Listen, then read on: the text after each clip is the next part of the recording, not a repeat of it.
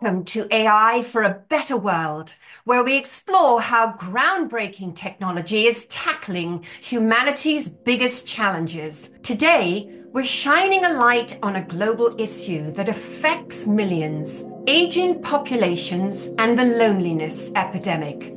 Joining me is Dor Skuler, the visionary CEO of Intuition Robotics, who's on a mission to change the way we age.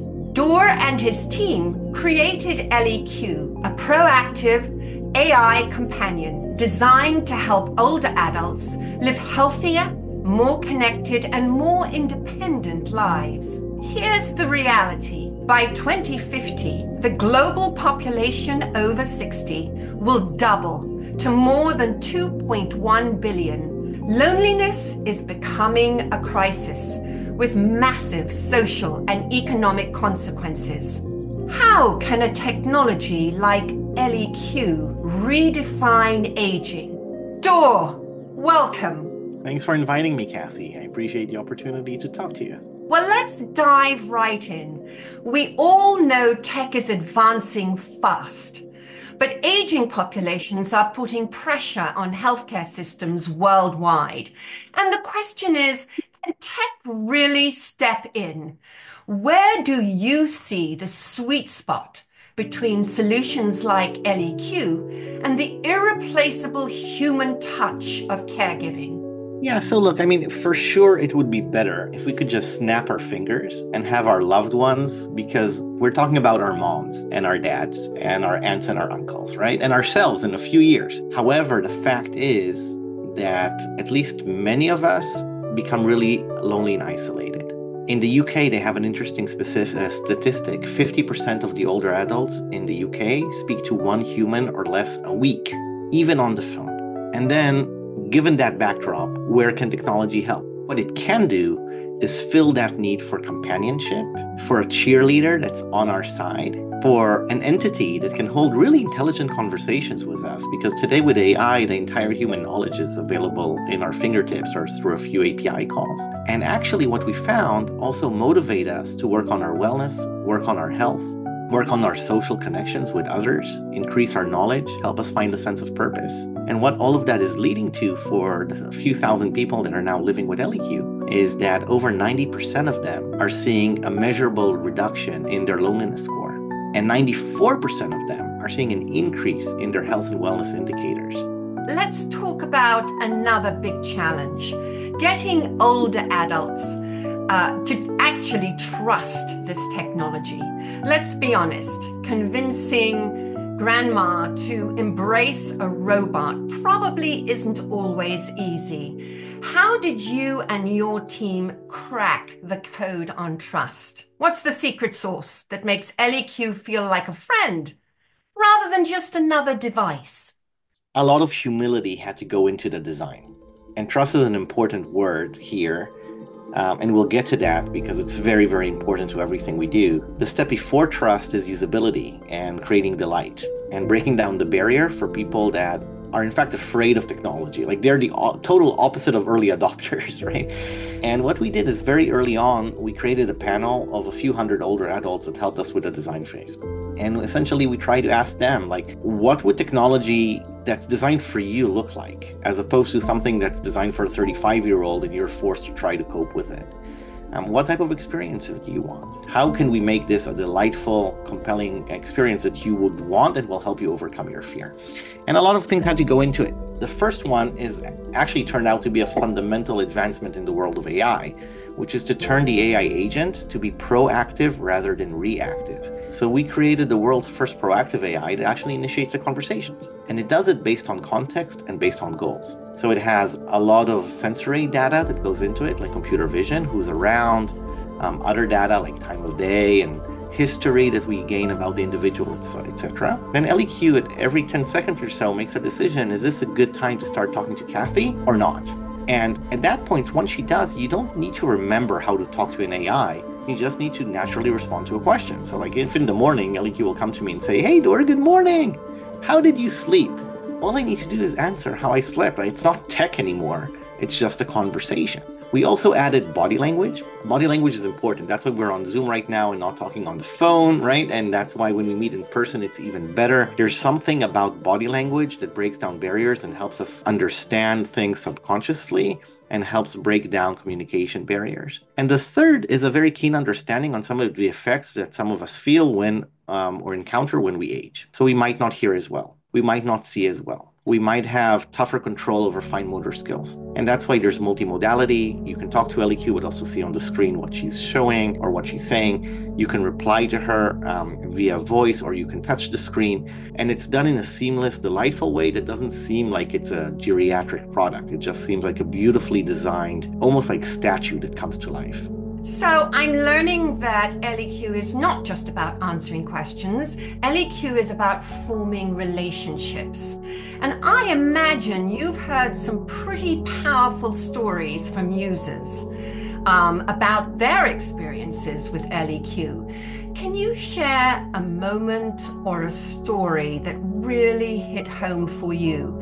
A time when you realized ElliQ was doing something even bigger than you imagined? Oh, there's so many, and, and there are a ton of testimonials available on our website as well, on elliq.com, that people can watch, or on our YouTube channel. How just a recent one a few days ago, um, one of our customers reached out and said, Listen, I came back from hospitalization and I was assigned a weeks of bed rest. Couldn't get up. I live alone. However, I had ElliQ with me and we were chatting the entire time. She was telling me jokes. She took me on virtual road trips, on virtual tours. I played bingo with other ElliQ users. I had fun. And I can't imagine what that week would have been like if she wasn't there. And to me, that's just, I mean, it's a small moment, you know, but it's a fundamental and really, really important one on the impact of this type of a technology in like day to day life. May I talk a little bit about cognitive health, which is uh, very, very important to me because I I know a lot of people that have, that are struggling with this, and we know that staying socially connected is crucial as we age.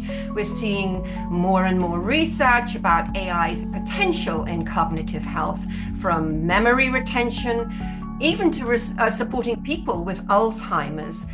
Is ElliQ already stepping into this space? It helps with daily routines, reminders, but can it actually help in this space? Do you see that as, you know, perhaps part of your mission or vision uh, for ElliQ moving forward? Yeah, so look, I mean, there are a lot of studies, and AARP is leading the charge here on kind of brain health recommendations to either stop the progression of, of dementia or to keep it at, or to, to even stop it from progressing um, or, or turn it back. Sorry. Um, and they recommend five activities better sleep, physical exercise, cognitive stimuli and training across different areas. It's not just playing Sudoku, right? It's different things, nutrition, and social connectiveness. And we work on all of those five things. So, on our wellness program, uh, that's part of ElliQ, there are about 20 cognitive games that simulate different areas of the mind. There's also video conferencing and messaging and picture sharing and communications between other ElliQ users. And in fact, 56% of our customers are telling us that their social connections have increased ever since they got this product, in addition to their relationship with the AI itself. I want to ask you one more question, one last question, Dora. This has been great. Why will ElliQ be the one thing they want in their lives? Okay, so I'll surprise you. Like ElliQ is not for everybody. Okay. Uh, by the way, neither is any product. It is built for older adults that either live alone or spend the majority of their time by themselves every day. We we clock that at five hours or more alone by themselves every day. The Surgeon General has shown very compelling data. He actually calls loneliness the epidemic of the 21st century. It more than doubles the risk for dementia. It increases the risk for heart disease, for mental health, um, things like depression and anxiety. So it's a big deal beyond the wellness and taking your medication on time, etc., etc. What we have found is introducing ElliQ to the home actually touches those things, actually gives us a sense of companionship. Yes, with a digital entity, we don't pretend to be human. ElliQ never pretends to be human. Think of like the benefit people get from a relationship with their pet. It's actually very, very similar except that in this case the pet can talk back right they never think that the pet is human and yet it still fills a hole that we have in our lives and still gives us a ton of value likewise ElliQ does that as well We're also finding that caregivers are finding a huge amount of value here. Think of it as like hiring an AI to be part of the care circle. To, on one side, because it's goal oriented, to enforce the things that mom might need help on that becomes a burden for the unpaid caregiver, like reminding mom to take her pills and to exercise and to eat and to drink. So we do all that with the permission of the older adult to keep their privacy and keep agency on their data. We also update the family caregiver. Mom isn't, she's having a bad day. She's not feeling well for three days in a row. She's really not as active as she was. She's not sleeping well. She's not eating. Um, so they can kind of know when to get involved and have peace of mind the rest of the time, and then use ElliQ to build a deeper relationship with their family. Uh, one feature that I love, probably my favorite feature in this product, is what we call the memoir. You can ask remotely um, ElliQ to capture specific stories that are like family legends or just that you're curious about, right? Tell me about the time you went to Woodstock or tell me how you met my dad or something like that. And ElliQ will then try to convince the older adult to record that. She will record it, she will become a director, ask questions, and actually hold a video conversation with the older adult on that topic with natural conversation. She'll ask follow up questions based on what they said, etc., etc. You can hold up pictures, those will be added into what essentially becomes a movie or a little asset about that specific story. And you can do it on many, many different stories. So bring the family closer together through shared memories and kind of take a lot of the headache and the, the nitty and gritty away from caregiving and allow you to focus on quality time with mom and dad.